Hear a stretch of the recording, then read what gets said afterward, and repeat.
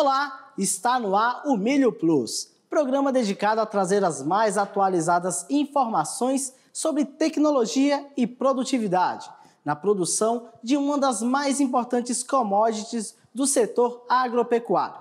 Meu nome é Mário Beniche e hoje vamos falar sobre um tipo de insumo chamado Bacillus simplex. É complicado, mas é esse o nome, né? Um microorganismo bioestimulante que promove o crescimento da planta de forma que ela faça o melhor uso da água, o que aumenta a tolerância a situações de estresse hídrico, fazendo com que a lavoura se desenvolva com uma necessidade menor de água. Para entendermos melhor sobre esse assunto e como funciona o Bacillus simplex, vamos conversar agora com Fábio Peter Kuhl, especialista em agricultura tropical e diretor de pesquisa da Fundação Rio Verde. Seja bem-vindo ao Milho Plus, Fábio. Bom dia, Mário. Tudo bem? Tudo jóia? Prazer estar com vocês e apresentar um pouco dos resultados de pesquisa que a gente desenvolve aqui no Médio Norte de Mato Grosso.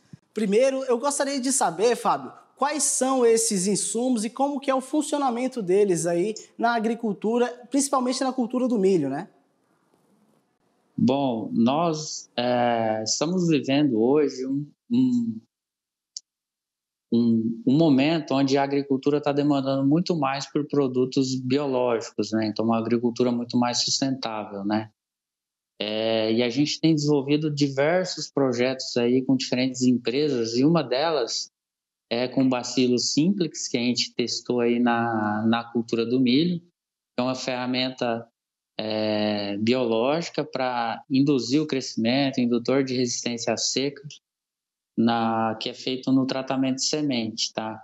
Então, é uma ferramenta bem interessante que a gente colocou no campo, começou a testar. A gente já tem trabalhado neste projeto desde 2018, desde a chegada da empresa detentora né, no Brasil. Então, a gente vem desenvolvendo desde então projetos é, com a Bacillus simplex na cultura do milho, dentre outros projetos aí com biológicos, e os resultados têm sido bem interessantes. Como tem sido, Fábio, esse trabalho desde 2018, né? Ou seja, já tem quatro anos que vocês vêm trabalhando aí com essa cultura do bioinsumos. Como tem sido de lá para cá, nesses quatro anos? Você pode fazer uma análise dessa trajetória, dessa linha do tempo, fomentando a utilização de bioinsumos? Bom, quando, quando nós começamos os testes, uh, nós tínhamos uma, grama, uma gama muito maior de, de biológicos sendo testado, né, de cepas, de, de insumos, né. Então, com o passar do tempo, foram se afunilando os resultados e hoje a gente tem já o produto comercial, né, a base de bacilos simples, já tá, vai estar tá disponível aí para o produtor acessar através da companhia nos próximos no próximo ano. É, e os resultados que a gente obteve foram muito interessantes. Né? Nós, na última safra, nós tivemos um corte abrupto de chuva logo após o pendoamento do milho, e, e isso acabou é, refletindo muito no comportamento do biológico em entregar uma produtividade maior. Né? Então foi bem interessante o resultado. O bacilo simplex, é, qual é o enquadramento dele? Qual tipo de bioinsumo ele se enquadra, Fábio? Bom, ele é um produto 100% biológico, né? É, no caso do simplex, a recomendação é feita para tratamento de semente na cultura do milho, tá? É interessante também que o volume, a dose que a gente usa na semente é baixa, então a gente está falando aí de salvo engano, são 9 ml para cada 100 kg de semente, tá? E os demais biológicos que a gente tem, o volume de calda é muito maior, né? Então, isso é também uma vantagem interessante desse bacilos, tá? Você falou 9 ml, como 9 ml por hectare, como é que é feita essa aplicação, Fábio?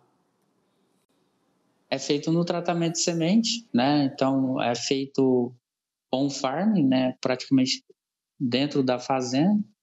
É, muitos dos nossos produtores adotam esse, essa modalidade para tratar a sua semente dentro da fazenda, outras já vêm com tratamento industrial, né? mas a, a introdução do biológico no tratamento químico também tem sido muito realizada. Né? Então, é realizado dentro da fazenda E esse baixo volume para cada hectare aí, né, é bem é bem fácil o manuseio por parte do produtor. Você não vai embeber demais a sua semente, não vai prejudicar o seu tratamento de semente é, fúngico ou de inseticida com esse, com esse volume de calda que você vai estar tá adicionando dentro da fazenda. Né? Então é bem de fácil o manuseio aí por parte, pela parte operacional da fazenda. Né? Entendi. Fábio, e como é o recomendado o seu uso nas lavouras? Como que é, é, feita a recomendação de aplicação, né? Porque os biológicos, eles têm uma forma de aplicação diferenciada dos é, insumos convencionais. Bom, o, importante é, é, fazer o tratamento de sementes dentro da fazenda e logo na, na sequência ou dentro de um período de, de espaço curto fazer o plantio dessa semente na, na lavoura, né? Então, isso ajuda aí a sobrevivência do, do bacilos e a sua para ele poder é, expressar o seu, o seu potencial ali na semente, né? Então, fez-se o tratamento de semente, o ideal é não deixar essas sementes sobre é, uma temperatura muito alta após o tratamento, né? E assim que tratar, levar para o campo aí, tá plantando essa semente no intervalo ideal aí é de até três dias, fica tranquilo para fazer o plantio. Ou seja, a, a semente, o tratamento da semente também é um fator determinante para o sucesso da, na aplicação desse insumo, correto, Fábio?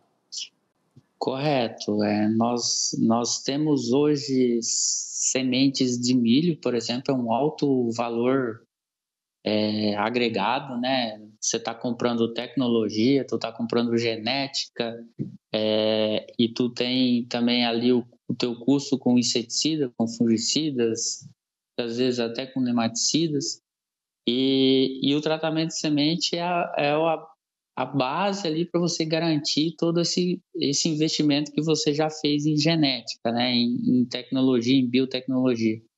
Então, o tratamento de semente hoje é fundamental para ter lavouras aí de alto teto produtivo, né? Então, é uma ferramenta aí, um bioinsumo, como está na, na tela aqui, muito interessante para nós produtores, para nós técnicos, é, tá levando para o campo e, e obter o máximo de desempenho com a, com a tecnologia, né? Então, a, esses cuidados que a gente já comentou, é, a qualidade do tratamento de semente. Então, isso ajuda em muito e contribui para o produto funcionar, para o bacilos executar o seu papel e para o produtor também colher mais ao final da, da, da do período aí de condução da lavoura. Né? É, o Bacillus simplex, é assim que se pronuncia mesmo, Fábio? Até me corrija se eu estou falando a, a pronúncia correta. Isso, isso, é Bacillus simplex. Uhum. É, Bacilos já é uma é bastante utilizado dentro do, da, das culturas, né? E essa espécie simplex é bem interessante também, é, é, veio para o mercado agora, né? Então é uma, uma espécie bem interessante que a gente tem, tem testado. Agora vimos, Fábio, que é o, ele favorece o Bacillus simplex o desenvolvimento da planta, né? E como é esse produto? Ele é voltado especificamente para a cultura do milho e como que é o funcionamento dele na cultura do milho? Bom, no, na cultura do milho, nós obtivemos resultados bem interessantes de desenvolvimento inicial, né? Então, a, o Bacillus incrementou aí o crescimento radicular da planta, né? Nos, até os 25 dias aí a gente viu uma diferença bem significativa em relação aos outros produtos do mercado e ao tratamento controle, né, no caso, sem tratamento, né? E também o crescimento de parte aérea, né? E todo esse crescimento inicial é, favorece a planta a, a, a, a enfrentar algumas possibilidades de intempéries climáticas, até mesmo no decorrer do ciclo, né? Então, por exemplo, nesse, nesse, nessa safra onde houve o corte abrupto de chuva logo após o pendoamento, onde eu tinha esse maior crescimento de raiz, maior crescimento inicial da parte aérea, a planta ela conseguiu expressar melhor o seu ganho, a sua produtividade em relação aos outros é, produtos que testamos, ó, ao tratamento de testemunha. Então, ela conseguiu ali, quando cortou a chuva, ela já estava com um potencial produtivo, um potencial de planta muito mais bem formado, né? E isso acabou resultando aí em diferenças até de 14% na produtividade final. Então, todo esse crescimento inicial, essa, esse maior arranque inicial da, da, da raiz e da parte aérea da planta, promovido aí pelo bacilos, acabou resultando aí numa planta muito mais vigorosa para estar tá enf enfrentando aí possibilidades de estiagem. No, no caso aqui, que ocorreu na, aqui em Lucas, do Rio Verde, né?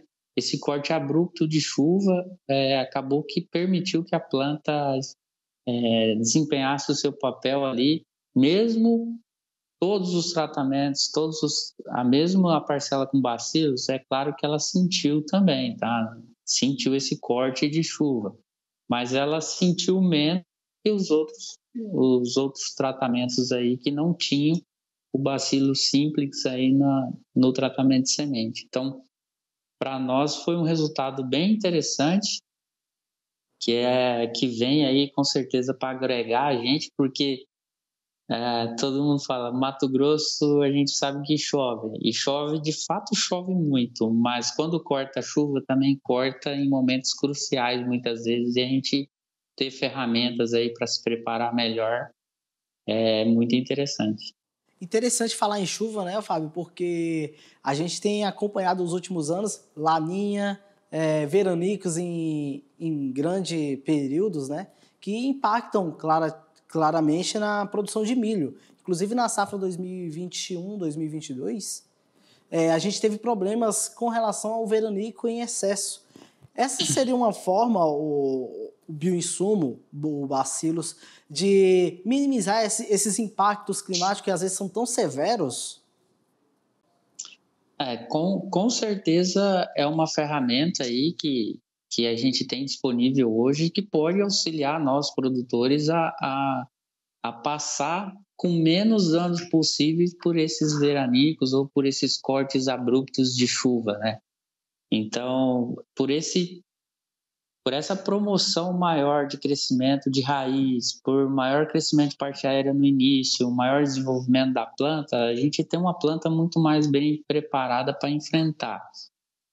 É claro que é, nós estamos falando de bacilos simplex, né? Uma ferramenta excelente, aí, muito, com resultados muito interessantes, mas nós temos que ter, temos que lembrar que o nosso solo é, tem que ter caixa produtiva também, tanto é para guardar água, né? Não ter problema de compactação, quanto em suprir nutricionalmente a demanda da planta, né? Então é uma ferramenta muito interessante, mas nós não podemos esquecer do básico, que é ter um solo de alta qualidade. Eu costumo dizer para os nossos produtores aqui que o, qual que é a, a, o maior capital que ele tem da porteira para dentro. Aí alguns dizem que é a máquina X, a máquina Y, o barracão, o armazém.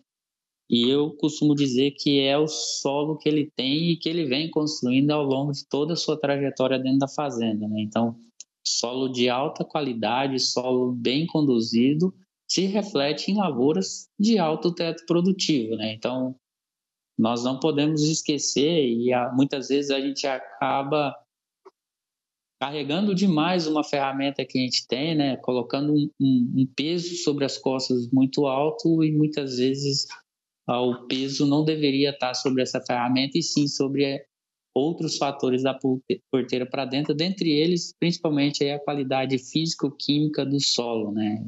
Também a parte biológica do solo, pensando em nematóides. Uhum. Agora é interessante porque a gente tem acompanhado, inclusive aqui recentemente, né, que o IPCC, né, que é a agência que faz estudos relacionados ao clima, tem detectado que as condições climáticas elas podem impactar grandemente na, na, em toda a cadeia agropecuária, né? E essa seria uma forma, talvez, até de tentar minimizar esses impactos né, é, é, da, das condições climáticas. Né? A utilização de mecanismos é, biológicos como bacilos. Né? Sim, é uma ferramenta que pode minimizar esses impactos aí. É, a gente observou isso a campo nessa safra, né? Então, é uma ferramenta bem interessante, de fácil manuseio, de fácil utilização. É, e a gente pode estar tá adotando aí dentro da, da, da porteira para dentro como uma ferramenta. Então, cabe a nós, técnicos, produtores, agrônomos, recomendantes, enfim, conhecer a ferramenta na sua realidade, né, na sua porteira, da sua porteira para dentro, é, para obter o melhor resultado possível com essa ferramenta, né? Então, ferramentas demandam de posicionamentos técnicos assertivos, né? Então, cabe a nós é, tentar extrair o máximo das ferramentas que a gente dispõe. E essa ferramenta com bacilo simples, com certeza auxilia aí na é um, é um tem um papel importante para nos auxiliar a enfrentar esses veranicos, enfrentar esses cortes de chuva dentro da cultura do milho. Agora, o senhor falou agora há pouco sobre solo, Fábio. É até interessante, né? Qual a relação do manejo do solo apropriado com a utilização do bacilo simplex, né? Como que é essa interação entre solo e a, o bioinsumo? Bom, é, é, por muito tempo a gente sempre buscou construir solos é, produtivos com alto, uma correção química muito bem feita, né? Então, Hoje nós temos ferramentas disponíveis aí que a gente consegue facilmente determinar quais são as deficiências de macro, de micronutrientes, né? Correção com calcário, com gesso, adubações, enfim. Quando a gente vai para a parte física e biológica do solo, nós ainda temos um caminho a percorrer, né? Então hoje, para você determinar e determinado talhão tem problema de compactação, não é tão simples assim como determinar quimicamente. A parte biológica entra dentro do mesmo contexto, né? Então a gente tem ainda um, um caminho muito é, muito interessante para percorrer e conhecer é, essa parte biológica do solo e entender quanto que essa parte biológica contribui para o nosso sistema produtivo. Nós já temos muitas, algumas informações onde que se eu não tenho um solo com uma boa condição física, a parte biológica, muitas vezes, ou, por exemplo, vamos citar o exemplo do bacilos, é, ele não vai conseguir desempenhar o papel que ele está preparado para desempenhar. Então, essa conjuntura de fatores químicos, físicos e biológicos, eles têm que caminhar junto, né? Então, Hoje a gente tem esse caminho um pouco mais longo para percorrer dentro da parte física do solo, pensando em compactação, em macroporosidade, retenção de água, e a parte biológica também. Então, os três fatores deveriam, desde o início lá, ter caminhado junto, né? mas é, nós estamos num ambiente cerrado e claramente a parte química se fez muito mais importante no início. Né? Então, hoje, nos nossos testes produtivos, a gente precisa melhorar muito mais essa parte física e biológica do solo. Então, essa ferramenta vem para ajudar nesse sentido também. Agora, Fábio, em momentos em que o Centro-Oeste, por exemplo, é impactado por uma seca que se alastra a níveis abismais, passando de mais de 100 dias de, sem chuva, né? Ah, esse é um mecanismo que tenta minimizar essa, essa prática, né? É, como fazer é, quais são os fatores aliados ao bacilos que podem contribuir aí para um bom desempenho da lavoura?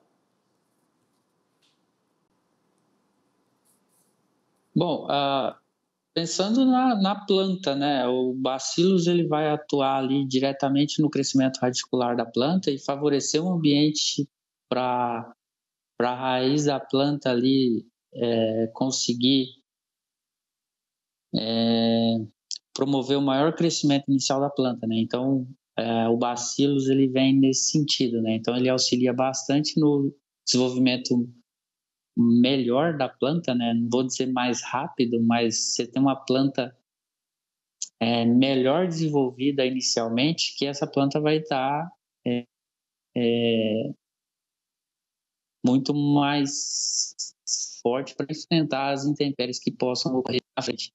A gente fala muito de seca, mas também quando a gente tem é, uma planta mais bem desenvolvida, se a gente tem semanas ou alguns dias com excesso de chuva, é, esse ambiente também é prejudicial para a planta. Então, se você tem uma planta mais bem, mais bem desenvolvida, ela vai conseguir é, se sair melhor dentro desse ambiente também. Então, todo esse, todas essas ferramentas que a gente tem que consiga fazer com que a planta tenha um desenvolvimento inicial melhor, é, vão favorecer a planta a enfrentar os, os mais diferentes é, problemas que ela possa em, em, enfrentar no, na sua, no seu desenvolvimento inicial.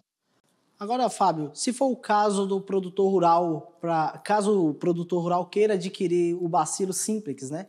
Como que ele encontra, como esse produto está sendo oferecido ah, em todo o Brasil?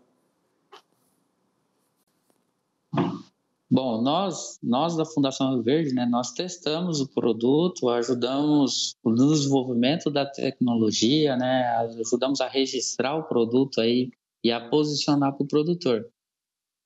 Caso o produtor tenha interesse, ele deve procurar a empresa é, que detém a tecnologia, né, procurar os seus representantes de vendas, sua parte técnica da empresa, e daí está adquirindo aí essa, essa ferramenta para ele levar para dentro da fazenda, né? Agora uma curiosidade, o, esse produto ele é oferecido, ele pode ser utilizado apenas para produtores que já aderem ao, aos aos bioinsumos ou também para quem faz o plantio com defensivos agrícolas convencionais? Não, podem ser. É um produto que pode ser utilizado tanto para quem trabalha 100% com biológico, digamos, né, não faz o uso de, de bioquímicos, né, produtos base química, e também pelo, por aqueles que fazem o tratamento convencional de semente, a base de inseticidas e fungicidas. Então não tem problema nenhum associar o, o fazer o retratamento de semente dentro da fazenda com bacilos, né? Se, se já vier o tratamento industrial, a gente não tem não tem prejuízo no tratamento tanto biológico quanto químico se for feita essa modalidade e com certeza é, é uma ferramenta aí para pequeno produtor, médio e também grande produtor. Então, é uma ferramenta bem interessante. Existe um desafio, até interessante fazer essa pergunta. Hoje ainda é um desafio aderir, ou os produtores aderirem ao produto biológico, Fábio? Ah, sim, por enquanto a gente está nesse, nesse, eu digo que é um momento de um pouco de transição aí, é entender melhor como funciona o biológico. Quando o biológico chegou para nós utilizarmos em lavouras comerciais, muitas vezes ele foi sobrecarregado, né? Então ficou aquela impressão, ah, o biológico não fun funciona. E o nosso produtor também estava muito habituado a usar produtos de rápido efeito ou de rápido controle, né? Pensando em manejo de praga, por exemplo. Então hoje os produtos biológicos eles têm vindo cada vez mais seletivos, cada vez mais específicos para determinados patógenos, né? E uma assertividade muito maior. É, então, hoje os produtos biológicos já estão passando por essa transformação da, da, do entendimento do produtor, que é um produto, uma ferramenta que funciona, tá? Desde que bem posicionada, né? Então, esse período de, digamos, de desconfiança ou de, de receio de estar utilizando essas ferramentas, isso está ficando para trás e a gente está passando a utilizar muito mais produtos biológicos dentro da nossa estratégia de, de manejo. Né? É claro que nós não, não temos condições de, de pesar tudo para cima do biológico. Né? Nós temos que introduzir o biológico dentro do nosso sistema de manejo e aproveitar o seu potencial aí para a gente cada vez mais caminhar, usar mais dentro do nosso manejo.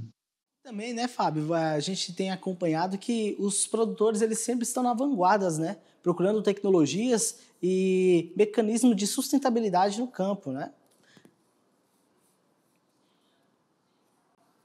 É, exatamente. Nós nosso produtor hoje ele quer produzir soja, quer produzir milho, quer produzir fibra, dentre todos os outros uh, alimentos que a gente tem dentro da cadeia do agronegócio, mas ele também quer fazer isso com sustentabilidade, respeitando o meio ambiente, né? Então hoje a gente tem, tem caminhado bastante como projeto de de carbono, né? Então, o biológico também entra nesse, nesse sentido, que é uma ferramenta que, que pode auxiliar maior, é, maior crédito de carbono para o produtor, porque ele está usando uma ferramenta biológica, né? Então, as outras práticas culturais, como plano de cobertura, manejo de cobertura do solo, é, é, podem estar agregando o produtor aí, que cada vez mais quer produzir mais, mas cada vez com muito mais sustentabilidade, também pensando no ambiente e também pensando na sustentabilidade do negócio. Né?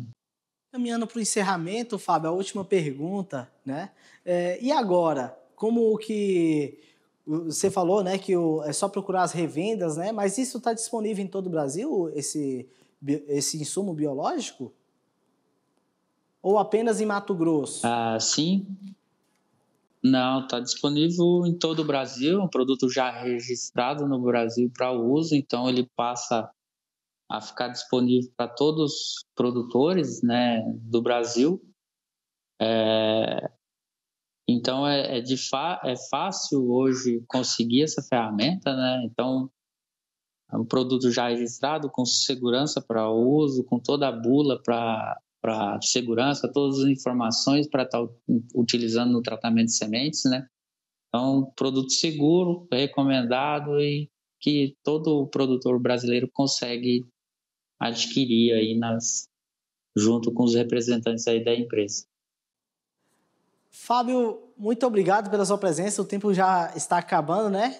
Quero agradecer a sua presença aqui no Milho Plus e convido, se quiser retornar para trazer novidades do segmento agropecuário, o AgroMais está de portas abertas aí para vocês, tá bom?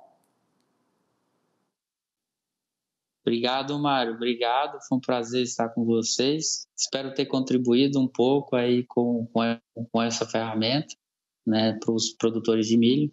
E a gente também está sempre disponível aqui em, em Lucas do Rio Verde, onde a gente sempre tem desenvolvido muitos trabalhos nas culturas de soja, milho e algodão, que são aqui os nossos carros-chefes, né? Então, desde já, muito obrigado e fico à disposição. O programa Milho Plus fica por aqui. Se você quiser acompanhar esse ou outros programas, acesse o nosso canal nas redes sociais. Basta digitar @agromaistv. Eu fico por aqui e acompanhe agora a nossa programação. Até mais!